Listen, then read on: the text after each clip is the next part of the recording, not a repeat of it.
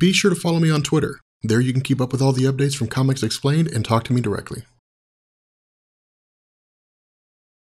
What's going on, Comic Nation? This is Rob, and as we get closer to the US release of Avengers 2 Age of Ultron, I thought it might be a good idea to take some time away from Time Runs Out and explain the background of the Avengers from the Marvel Cinematic Universe, since this is something that we haven't really done yet. Now, what I'm hoping this will do is serve the purpose of explaining each of these characters to give you an idea of what's been going on behind the scenes of the films, ultimately leading up to the current events in Avengers Age of Ultron. So, Natasha Romanoff was born on November 22nd in 1984 in Stalingrad, Russia. Now, this information comes from her SHIELD file, which also tells us that her parents are unknown, but they're presumed deceased. Now, the reason for her shrouded background seems largely to be tied to her earlier introduction into the Black Widow program. Now, the Black Widow program was actually hinted at by Natasha Romanoff during her encounter with Bruce Banner during the Avengers film, when she had mentioned that she had been trained at a very young age in terms of how to be an an assassin. But the Black Widow program was actually expanded on a little bit further with regards to the Red Room program in the TV show Agent Carter when it was revealed that Dottie Underwood was actually part of the program that was a precursor to the Black Widow program. Again, this was the Red Room. This is basically where they took younger people and they taught them what they needed to know to become assassins for the Russian government. Now, what we don't know is exactly what kind of regimen Natasha Romanoff was made to endure as part of the Black Widow program, but what we do know is that once she graduated from the program, or I guess you could call it a graduation of sorts, she had basically gone on to become one of the more one of the foremost assassins, I guess, in the world overall. Now, in the Avengers film, what we actually get is this explanation, I guess, in terms of the conversation between Black Widow and Hawkeye with regards to how it was that Black Widow and Hawkeye had first met. And what we learn is that somewhere along the line, after Black Widow had become an assassin for the Russian government, she was targeted by S.H.I.E.L.D. And that in response, S.H.I.E.L.D. had sent Hawkeye to assassinate Black Widow. But what had happened here is that ultimately Hawkeye chose not to kill her. He chose to basically keep, tra- keep tabs on her to follow her to learn what she was about and ultimately discovered what her identity was. Now, what this seems to do is lead to this kind of friendship and possible romantic interest between the two of them. We're not really sure how deep that goes, but this really kind of began the introduction of her character into S.H.I.E.L.D. Now, we don't exactly know how it was that she had eventually joined S.H.I.E.L.D., we just simply know she was part of S.H.I.E.L.D. one day. But what we also learned is that in the Winter Soldier film, if you guys recall, she had been talking to Captain America about the Winter Soldier. And what she had told us is that when she was part of S.H.I.E.L.D., one of her first major assignments was to track, or I guess to track and to uh, basically keep safe an Iranian nuclear scientist. But the result was that the scientist had been shot by Bucky Barnes by shooting through her. And ultimately, the scientist was killed. Now, this is basically, I guess, the events that led up into her becoming, I guess, a full SHIELD agent.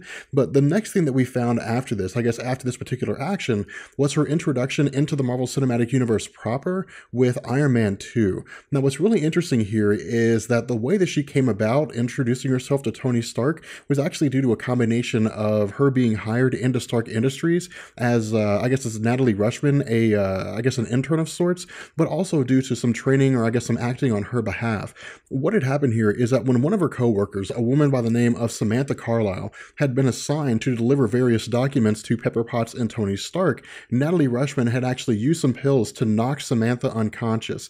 And when she did, she took the documents herself and delivered them to Tony Stark, ultimately resulting in her introduction in Iron Man 2 and Tony Stark picking her up, I guess, as a personal assistant of sorts between Tony Stark and Pepper Potts. Now, following the events of Iron Man 2, Black Widow was actually part part of the events that unfolded in the Incredible Hulk film. Now, this was a comic book tie in. What this told us is that her role was largely a backup role. That what had happened was she had been assigned by S.H.I.E.L.D. to, uh, I guess, to travel to Culver University and to keep tabs on Bruce Banner when it was discovered by S.H.I.E.L.D.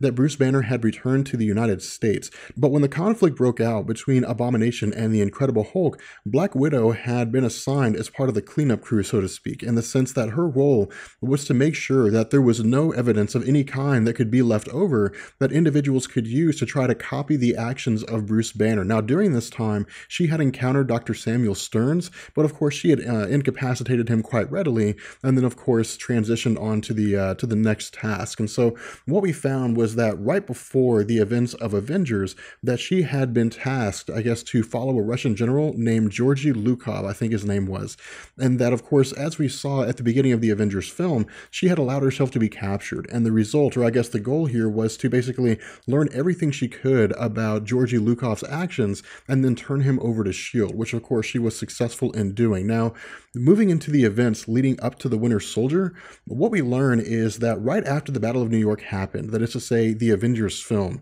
that when it ended, that Natasha Romanoff had been partnered with Steve Rogers. Now, the first mission the two of them had came in the form of an attempt to foil the plans of a man named Baker. Now, we're not really given anything other than the, the name Baker. We don't really know anything about him.